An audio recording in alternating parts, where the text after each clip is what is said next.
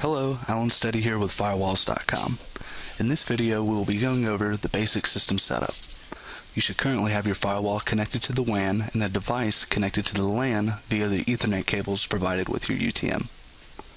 On the device that is connected to the UTM via the LAN port, launch your browser and enter in the default HTTPS address of 192.168.0.1 followed by a colon and the default port number of 4444.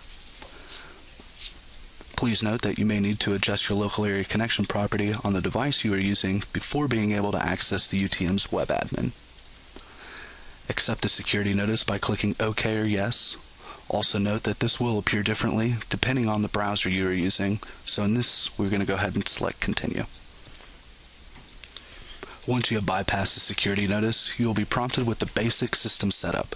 Here we'll enter in our host name, which we'll just go ahead and make firewalls.com, along with our company name, which we'll also go ahead and just make firewalls.com, along with the city in which the UTM will reside, and the country. And we'll also be able to define the admin password as well as the email address.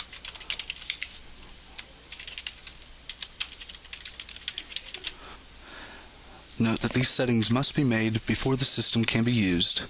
Also, note that all fields must be filled in and the host name must not contain special characters or spaces. In other words, it should meet the criteria of a fully qualified domain name or FQDN and should be resolvable in public DNS. Next, we should take some time to review the end user license agreement and accept the terms. Note, if you are deploying this on behalf of a company or someone else, the end user should accept these terms. Lastly, select the button to perform basic system setup.